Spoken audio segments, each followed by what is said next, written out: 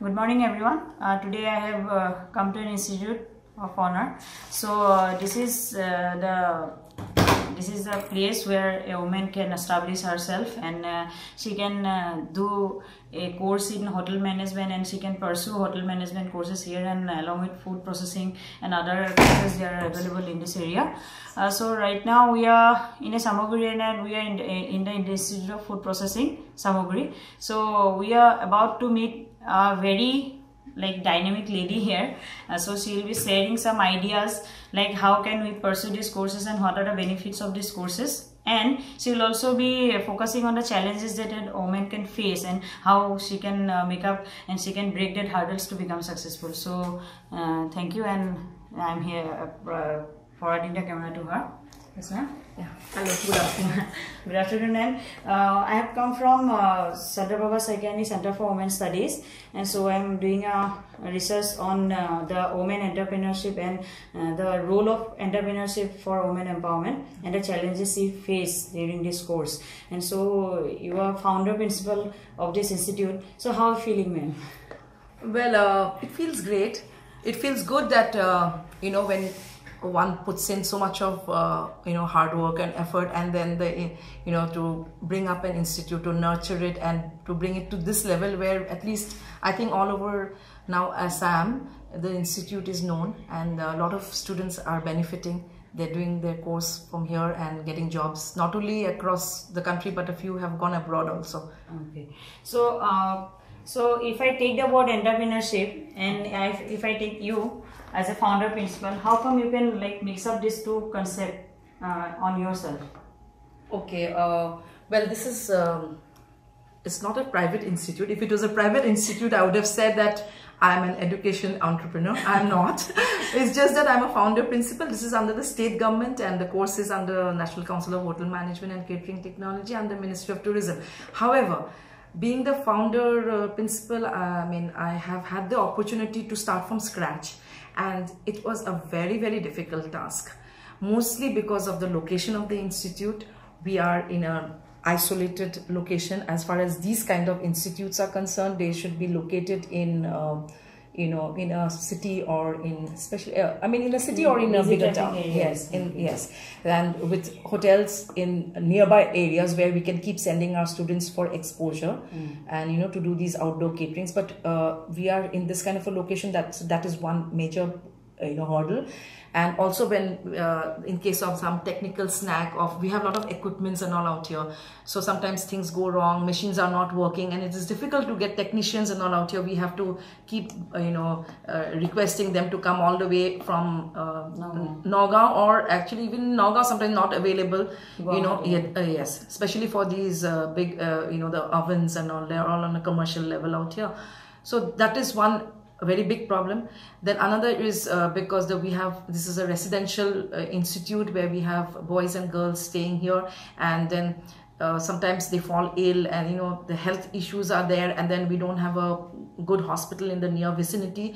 Then again, uh, you know, we have to take them all the way to Nagaon, which is about 25 kilometers from here. So those are the lot of problems in administration. Mm -hmm. However, somehow we have learned to overcome these you know not overcome and to manage them. You know we have become very resourceful. We have been able to handle these tackle these problems and somehow we have been surviving and we have progressed. When we started the institute there were 11 students who have taken admission. And in the last 11 students only. Yes and 8 had appeared for the final examination. Mm -hmm. however in the last academic session in the section uh, in uh, 2016 17 uh, sorry 17 18 we've had 110 students. Oh God. and 110 it's, it's exponentially developed from 11 to 110 yes yes. Okay. so that itself i think is a it tells a story that of our our success you can say mm -hmm. that in spite of so many problems here yet we have survived. In these rural surroundings we have made some kind of uh, uh, a position in this uh, kind of uh, technical course. People know us and although of course we are affiliated to national councils obviously uh, foodcraft institutes all over india they come under the same umbrella. But even then being in this kind of a rural location even then we have found our presence In the state, not only in the state, all over India. And in fact, I would just like to mention here, some of our students who underwent industrial training exposure in Hotel Marriott at Hyderabad even received a letter of appreciation from foreign embassies. Okay. Okay. Foreign so embassies. Foreign embassies who had maybe they were having some kind of a program there and they were very uh, happy with the services provided by our students. And our students have come from really remote places of Assam. Okay. And now they are doing well. They're working in five-star hotels all across the country like Hyderabad, Goa, Udaipur, Rajasthan, Okay. and Delhi, etc. And a few have also, as I said, gone abroad. Okay. So, So now, uh, since my area of uh, research is uh, mainly concentrated around the word entrepreneurship Yes. and women. Okay. So how you feel that uh, women entrepreneurship and women empowerment is somehow can be the measure through back for a hotel management courses and if we can like make hotel management and entrepreneurship mixed up for a women empowerment, how will you like uh, uh, make an insight on, on this topic? Okay, I think there is a lot of scope, lot of scope for uh, women especially because uh, uh, you know especially in the housekeeping because housekeepers there is a lot of demand in the market not only in the hotel sector but also in hospitals then in the shopping malls the retail centers there is a lot of job opportunities for housekeepers. Now many of these enterprises like these uh, corporate houses and the hospitals they don't like to you know uh, take the responsibility of recruiting them directly and they would like they would rather outsource this kind of a housekeeping contract to some um, you know contractual uh, some contract companies. So if a woman a woman has a natural aptitude to be a good housekeeper because it is a woman who you know sets up the home who decorates the house and keeps the house clean and tidy. So that is it's a very helpful for a housekeeper in the in a commercial scale also so so they have a natural tendency to be a good housekeeper. And if they start up the up a uh, you know their own company you know facility company and they you know employ certain uh, uh, persons to be housekeepers they train them up and then and then they deploy them to these different different corporate houses. Now who takes them on a contractual basis? So like, in the sense that they are the outsourced company. Okay. so there's a lot of scope. There are a lot of ladies who have started this kind of a practice outside uh, assam. Then also one more thing they would like to there's a lot of scope is many of the hotels they need a lot of flower arrangements. Flower arrangements then landscaping okay? And they don't want to hire somebody on a permanent basis to take you know to take care of their their flowers their flower arrangements which are required in all the guest rooms in the restaurants in the public areas. A lot of in large quantities it is required. They don't like to employ somebody on a permanent basis. They would rather again outsource it. So this is like they outsource it to a florist or to people who start their own. So a lady can also start their own you know uh, florist uh, shop or something like that and then take up these kind of uh, contracts. Then bakeries. There are a lot of scope lot of scope a lot of people who have in fact undergone these bakery courses and uh, start their own bake and these bakeries is not just to sell over the counter. They also then have these contracts with the different hotels and okay the different hotels they because they need to serve a lot of breads and cakes in the breakfast buffet also Okay. okay so uh, many of the hotels again they don't want to bake their own breads and cakes which is required Yes. okay and they would rather outsource it so in fact many of the hotels in guwahati are also doing it Huh. and they and also some of the hotels they have a little again bakery outlet separate bakery outlet where the items which are being sold are not baked by them directly Yes. but outsourced Okay. Uh, so, um, whenever we hear about entrepreneurship or women, people like feel hesitate to mix the two because somehow they feel that women are not capable of starting a business or starting a startup. Because right now, in Indian government is also like giving some schemes like startup, stand up India. Yeah, So this all this kind of things. So how we feel how this environment in Nagaon district basically is fruitful or favorable for establishing these kind of businesses or startups in in this area. So because you are somehow related. Yes, I think there is a lot of scope I mean, there's a lot of scope for improvement. I mean, why not that what why only go by what is available in the market Okay. i think you can create your own you know niche market i i, uh, I mean people are uh, having i mean i mean uh, there are a lot of scope for improvement in the market in nagaon Okay. And there's not much com- competition as of now especially in bakeries and all this i don't see much competition out there like in guwahati now there are a lot of bakeries who are, and all are doing well Yes. so why not start in, uh, in Nagaon? There'll be a lot of scope because the market is there. Market is there, and uh, you know there's not much uh, available in the market. So there's a lot of scope for bakeries. But uh, during my entire course, like of study, Okay. in last six months, whenever I hear some kind of business ideas from women, they like they mostly concentrated in food processing industries, like this uh, baking achars and these Yes. things, and like uh, mm, craft or hand handlooms and textiles. Yes. They they are not going outside that particular scenario. Is there kind of like? I think it's all in the head. It's all in the head. People should come now. They the uh, just the other day, uh, a, a, a person known to me in Delhi. She was a she's a fashion designer at the, at 50 plus. She started modeling. I'm just telling you, being a lady. So she started. This is another parallel profession that she and she's and you know she's featuring in Hindustan Times. Okay. Okay, her name is Anuradha P. Dhawan. So, uh, I mean, why not? And there is nothing, and especially uh, to be an entrepreneur, there's a big advantage that you don't have to look for an age or something like, you know, to apply for a job, there are age barriers, right? Age bar is there. But entrepreneurship, a person can start in your 30s, in your 40s, in your 50s also. Okay. And you know you you can always be a trendsetter why only follow the herd you know there's no need to follow what uh, you can start you can you can be the one to set the trend Okay. There is a market because i can see that there are a lot of uh, cloth the garment shops in uh, people are spending a lot of money on clothes and etc in in Nagaon. so i'm sure people will also start if they see things are available they why they will also you know spend on food Okay. and uh, especially the young population.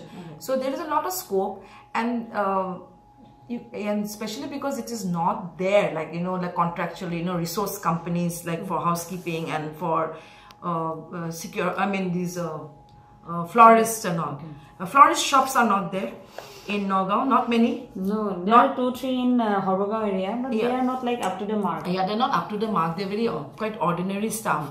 But if you have really good standard ones, I'm sure they'll uh, because people like to celebrate occasions nowadays. Yes, yes. Yeah, and especially with the multimedia popularity and everything, people are like you know they everybody's learning, that right? is They're learning, they're getting exposed. So there is a lot of uh, scope for this kind of and. Ladies will do very well because ladies, when they set their mind on doing something, I think they are more sincere and more hardworking. And as it is, these things are it comes naturally to a, a lady. I think you know doing uh, flower arrangements or baking a cake, cooking item, you know even food items. Uh, uh, it's not just about fast food or something. You can just uh, concentrate on one particular item and you know just popularize that item. And also these pop-ups. You know, there's a lot of scope for these pop-ups. That is like many people are having birthdays or wedding anniversaries or something to celebrate Okay. and not everybody can afford to go to a four star hotel or three star hotel and throw a party so if you start up your own you know pop-up business that is you're good at cooking a meal and you take orders. You take orders for meal mm. and it could be some you know there's some special like you know the person going undergoing some food production course out here mm-hmm. can learn some italian dishes can learn some french dishes mm-hmm. or some really good kashmiri dishes also whatever mm-hmm. and make it and you know specialize on that and you know start their own food business. Take orders from home and provide for parties you know like party caterings. Oh, yes, yes. yeah mm. but you know with some uh, special dishes which are not available in the restaurants Okay. So, uh, what are the particular challenges that women face to uh, establish a business in in this particular Nagaon area? Because Nagaon is nowadays is is going through a transition period from all these like political and socio-economic and cultural changes we are seeing, and in the entire Assam also. But how these things are affecting the business culture of this district and basically the mindset of women? Uh, well, I, I see that, I think that Challenges basically you yeah are facing. you're talking about the challenge challenges one challenge is that of course now after the bypass uh, many people are not going through uh, the town right they are taking the highway and they're going so uh, maybe people traveling in the highway will i mean they the if you start your own business you'll not be able to capture that kind of a Yes. right? People are uh, they're, they're just avoiding entering the town. They're not entering the town. So that will be one hurdle so you have to know how to advertise and you know you have to you know really book There is be a lack of environment for advertising in Nagaon also, I guess, because Yes. uh, people are not much using this uh, technology things like WhatsApp and this uh, Facebook and this because nowadays we are mainly dependent on these technologies for advertising. yes. Because in other places yes of course. I do uh, yeah that is one problem we have faced in our institute let me tell you our institute has, was established in 2010 and now we are in 2018 even now we hear people from students uh, from Nagaon district saying that we were not we are not aware of foodcraft institute when all over india we i mean all over assam we are had, having students coming and studying in this. But why is it that Nagaon? Then I ask them, do you not read newspapers? Or do you do you not watch certain pro- programs on TV because we are featured in on TV also many times? Uh, why is it that uh, the students from Nagaon, when we are located in Nagaon, uh, just 25 kilometers away in the same district, and students from Nagaon town are saying that we do, we are not aware that. Uh, so that is one thing which is very worrying. I think very worrying that. Uh, uh, the mass coverage is not there. Maybe There- anything may be the reason, but mass coverage is or the mass advertisement, Yes. like the sharing of ideas between us, because uh, nowadays uh, since we are seeing that uh, in WhatsApp uh, groups we can share our ideas among 20, 30, Yes. lots of people. Yeah. Are in uh, some kind of messaging apps. We can ask thousand people Yeah, also, but. yeah. People are not aware of these technologies, and they, since they are not following these things, uh, so they are unaware of this because this is the institute for last eight years. No, I but guess. I would like to uh, just uh, uh, you know uh, interact with you about um, regarding this. Okay. Is that you know what I would like to say is that I see a lot of them. They are all having smartphones. They are all having smart. They must be doing Facebook and WhatsApp if they are having smartphones. Okay. It is that I feel that they're not reading the newspapers or seeing the news on the TV. Uh, you know, they must be watching some other programs. But because when we advertise for admissions, it is mostly during the news. hour. Yes, scroll, yes. Okay. And also we advertise a lot in newspapers like Assam Tribune. So they must not be reading the newspapers and the same mostly because uh, WhatsApp and Facebook we see our students all having you know they might be coming from BPL category but they're having smartphones. Okay. and you know so that again in fact even i would like to know what is the reason why they're not aware that this kind of an institute is there. And one more thing i would like to say is that why is it that certain girls from Nagaon district they do not continue working after marriage? Hmm. That is one thing again it is really you know i'm perplexed because we are all married ladies. We in fact people like us we have left our family in guwahati and coming and working here i mean marriage why should it be the end of everything Okay. that is one again So um, uh, from last eight years, if I'm not wrong, Yeah.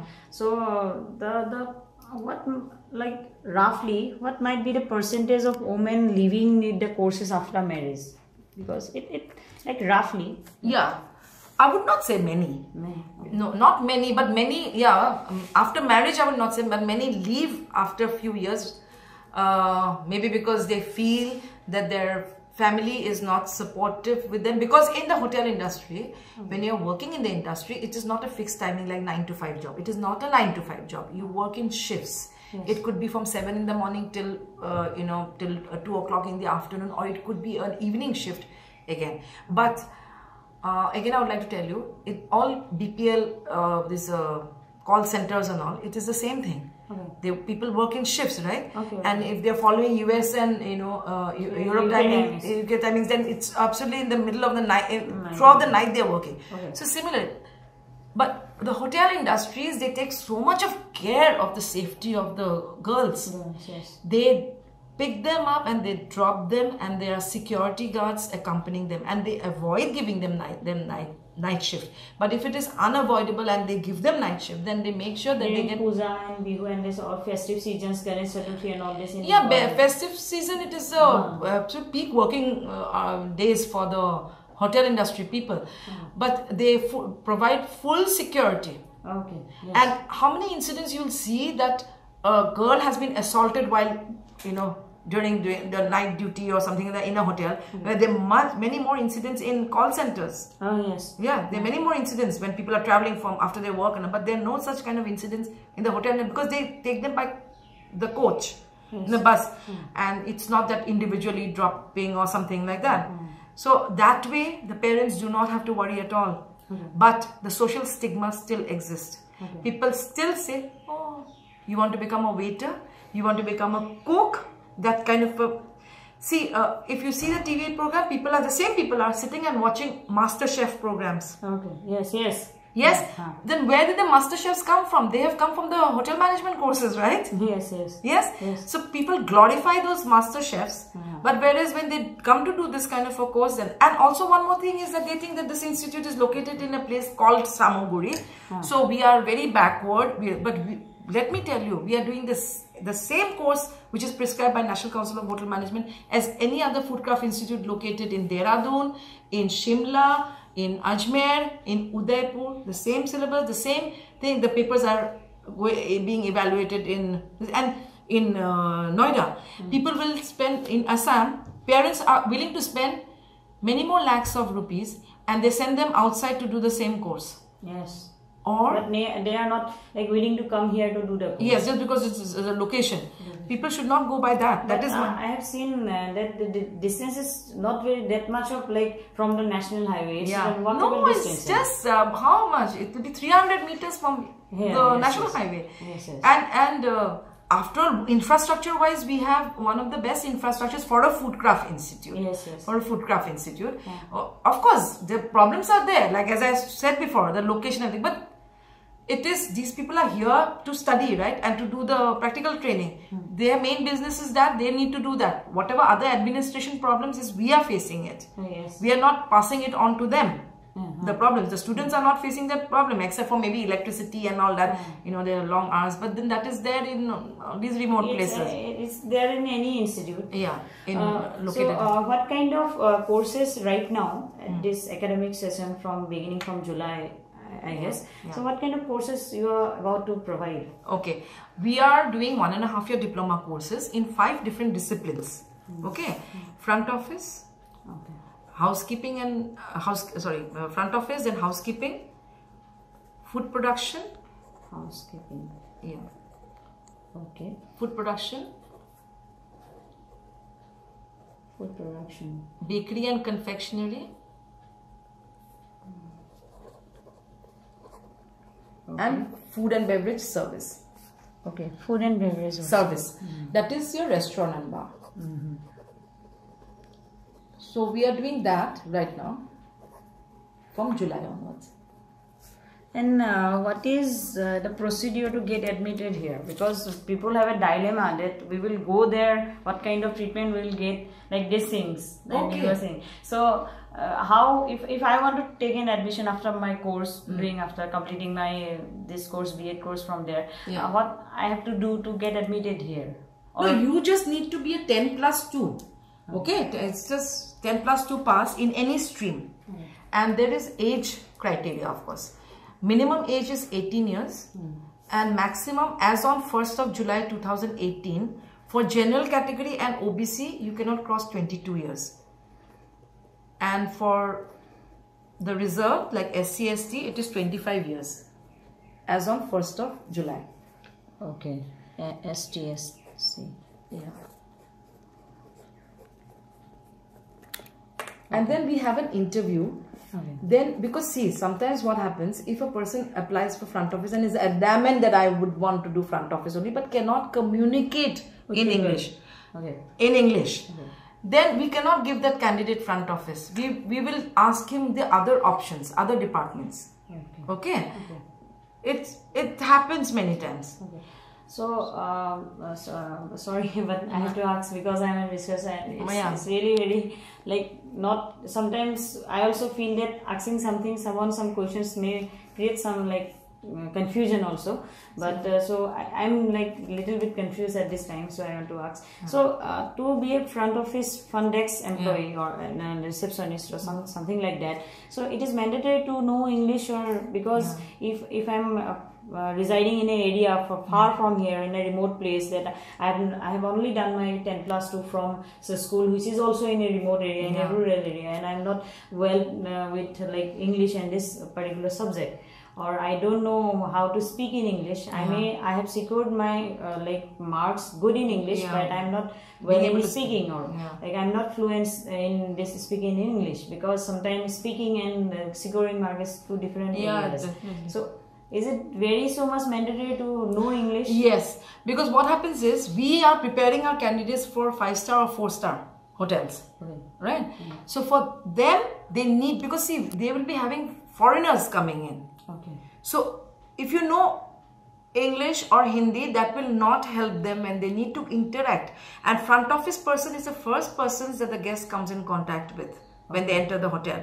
Housekeeping, food and beverage service, and kitchen, bakery, and all they will come much later, and some of them will not even be in contact with them. Like, yes, isn't it? Food production and bakery, they'll not even come. But whereas front office, so you need the front office person has to make a very good impression on the guest. And if the guest comes for help, they will come for information, they'll come for help, whatever, to the front desk. Oh, yes. If the front office person cannot communicate with them, then what is the how is the purpose? So served? here that, that proverb will come that first impression is the last impression. Yeah. So front office person should be the well to do it and maybe well conversant. I don't. I'm not saying that the person has to be completely fluent in English. But what I'm trying to say is at least try to make communicate. Yes, would, mm. should be able to communicate well mm. with the guest in English as well as in Hindi. Mm. Because Hindi again, non-Assamese people, because we send students all across India, they will not understand Assamese. A Gujarati person, Punjabi person will not understand. So they will have to be able to speak. So uh, if uh, if we want to uh, take uh, courses from here, so if I if I want to take a front office course like Yes. anything in the front office, so my language may be the one of the barriers. And also, I mean, it doesn't sound good, but also the physical attributes also. Okay. You must have a minimum physical, you know, appearance. Okay.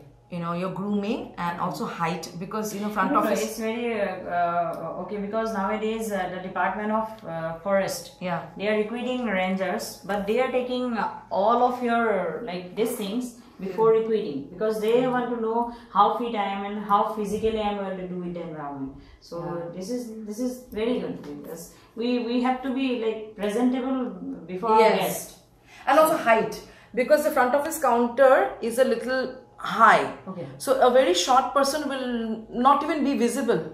Oh, okay. okay. So minimum height, is is, also, also required required. for required for a front office person, but not for other departments. It's just for So, so these were the challenges that you feel that women are encountering in Nagaon. So, what what should be the suggestion from your side for the people of Nagaon and for the young ladies out there and all the ladies, not only young ladies. So, what should I feel do? that more awareness camps should be conducted. Awareness camps, especially for the women, Awareness camps. and uh, yeah, to educate them about the different uh, opportunities and not just the you know people have this uh, you know the aptitude to go only for the white collar, the you know the jobs. Mobilization of women is also required. So because somehow people only sit in their home and they watch TV and then they praise and then they glorify this master but they don't they don't come out of their home to learn. Ah, then they should. Yes, yes, of course. So maybe you know, motivation is also required. You need to motivate them.